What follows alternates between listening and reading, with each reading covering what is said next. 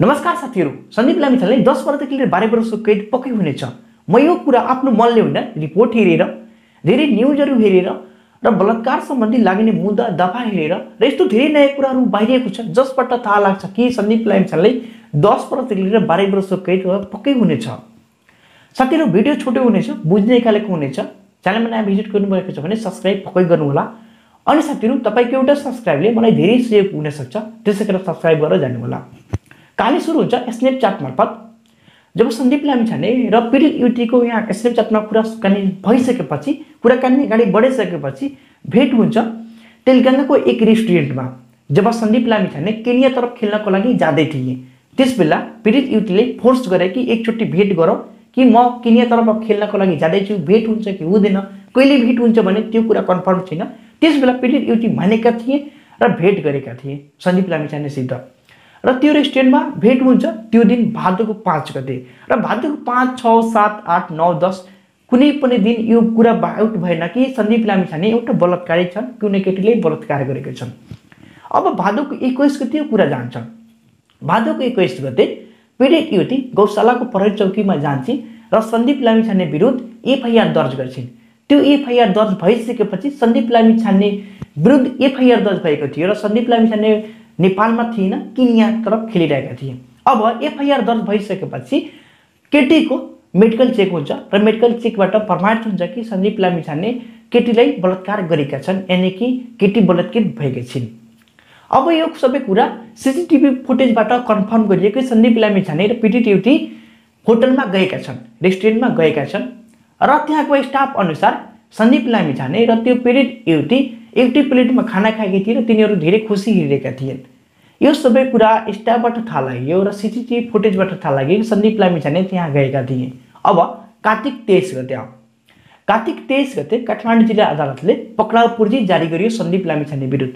पक्राउ पूर्जी जारी भइसकेपछि अब प्रहरीले पनि अनुमति पायो सन्दीप लामिछानेलाई समात्नको लागि पक्राउ गर्नको लागि। तर सन्दीप लामिछाने नेपालमा नभएर केनियातिर भएर फरारको लिस्टमा राखियो।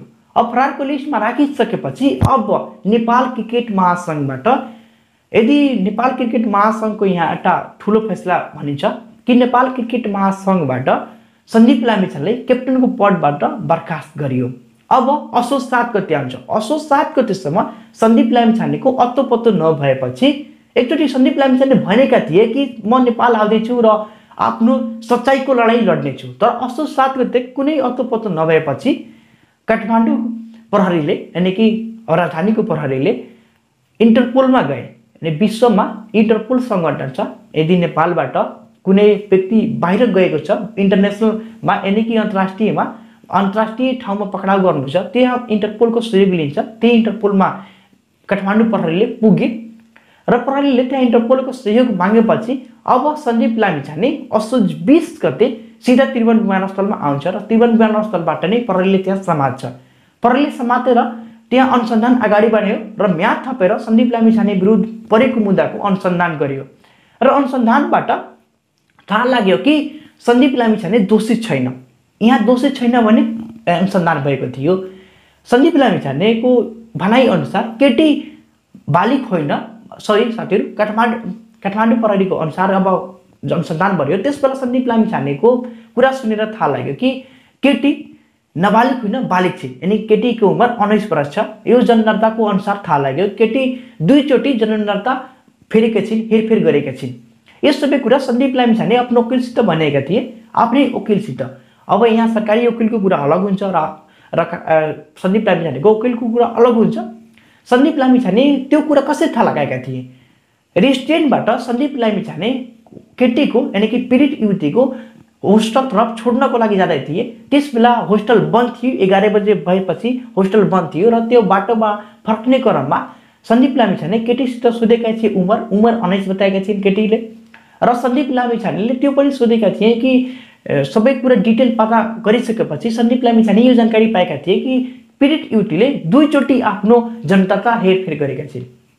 र यो सबै कुरा अब केटीको पक्षमा छैन। केटीको पक्षमा यही छ कि सन्दीप ला सन्दीप लामिछाने विरुद्ध जुन एफआइआर दर्ज भएको छ त्यो पक्कै बलात्कारको मुद्दा हो भने केटीको पक्ष अनुसार दुईचोटि सन्दीप लामिछाने जबरजस्ती गरेका थिए र बिहान आफू हेर्दाखेरि आफै नाङ्गे थिए भने यो केटीको तर्फबाट आउँछ।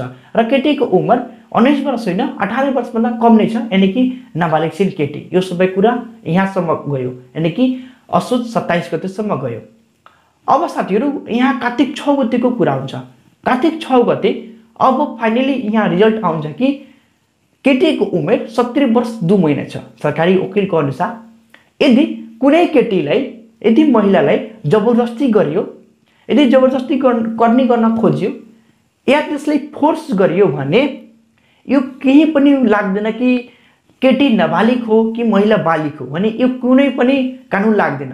यो कानुनमा यही उल्लेख छ कि दुई हजार चौहत्तरको दफा दुई हजार उन्नाइस ऊ दफा तिनको तिनको क अनुसार यदि कसैले कुनै बालिक या नाबालिगलाई जबरजस्ती गर्दैछ भने दस वर्षदेखि लिएर बाह्र वर्षसम्मको कैद हुनसक्छ र त्यहाँ भरपाई पनि दिनुपर्छ यानि कि क्षतिपूर्ति पनि दिनुपर्छ।